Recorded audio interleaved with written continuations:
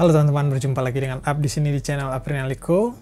Nah, di segmen kali ini, di segmen review mereview, saya kedatangan suatu casing lagi. Casing terbaru dari Aerocool, tipenya adalah Aerocool Prism, Aerocool Prism. Kita lihat di sini penampakannya elegan sekali ya, dan di depannya ini sudah transparan. Wah, pasti banyak yang cari casing yang depannya transparan ya sehingga bisa menampakkan kecantikan dari fan-fannya gitu ya. Nah, casing ini sendiri dibekali atau sudah termasuk 4 buah fan ARGB guys, bukan fan RGB biasa ya, tapi ARGB. Nah, nggak afdol kalau nggak dihidupkan ya bro.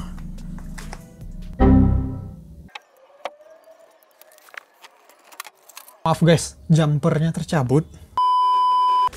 RGB dong sinkron dong lihatlah pemirsa antara fan ini dengan power supply dengan lampu temploknya. Itu semuanya sinkron ya.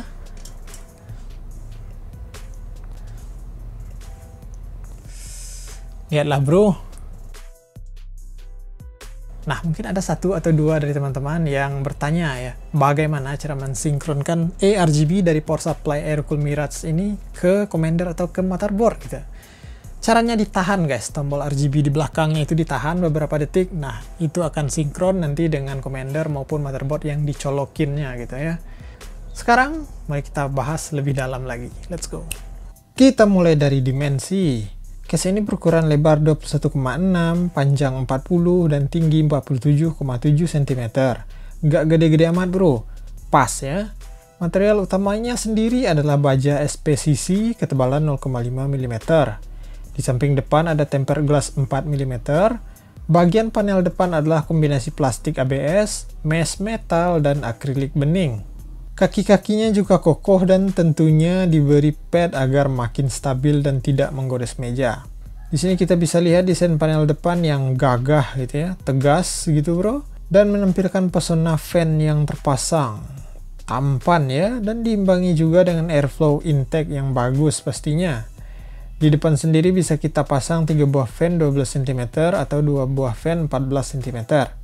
Daya tampung radiator di depan sampai 360 mm.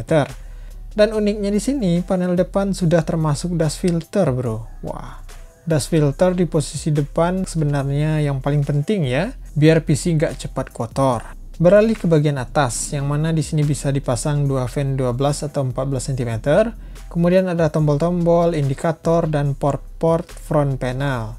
Dalam keadaan default pabrik, tombol reset dikonek ke hub fan ya guys untuk mengatur pola RGB.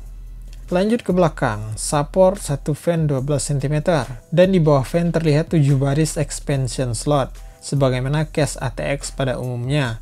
Lalu bonus 2 expansion slot vertikal ya ini membantu pemasangan GPU secara vertikal tanpa bracket tambahan.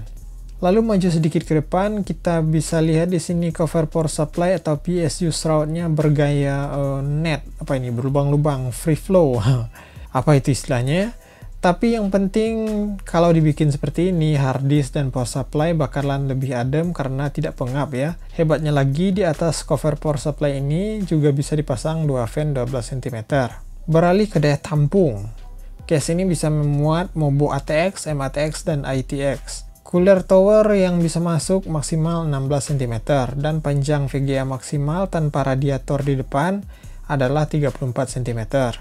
Lalu di bagian atas terlihat space yang cukup lebar, di mana ini sangat membantu jika ingin memasang AIO atau radiator di bagian atas. Lanjut panel samping belakang, space kabel manajemen ya sangat luas dengan gap atau rongga selebar 2 cm lebih. Kemudian terlihat di sini ada semacam jepitan dan saluran untuk kabel-kabel utama power supply. Di bagian ini terdapat dua drive B untuk SSD 2,5 inci bro, tapi yang difasilitasi cuma satu ya. Jika ingin memasang satu SSD lagi, bisa dilekatkan di bracket bagian bawah case. Tanpa SSD, bracket ini bisa menampung dua buah HDD 3,5 inci dan posisinya bisa disesuaikan untuk memudahkan pemasangan radiator 360 mm di bagian depan. Sekarang saatnya bahas RGB-annya bro.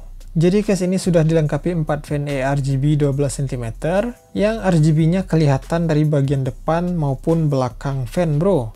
Jadi nanti kalau misal fan depan ini dipindah ke cover power supply sebagai intake tambahan VGA ya, atau diposisikan di atas sebagai intake, maka RGB-nya tetap ngejreng bro, tetap kelihatan.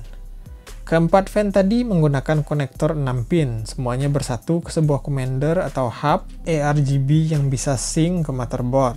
Atau switch pola manual menggunakan tombol reset switch.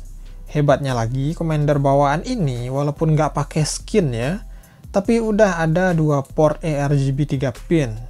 Jadi kalau teman-teman menambah fan atau RGB-an lain yang menggunakan konektor 3 pin, itu semua bisa connect, sinkron, dan satu alur dengan semua fan bawaan tadi. Luar biasa kan bro?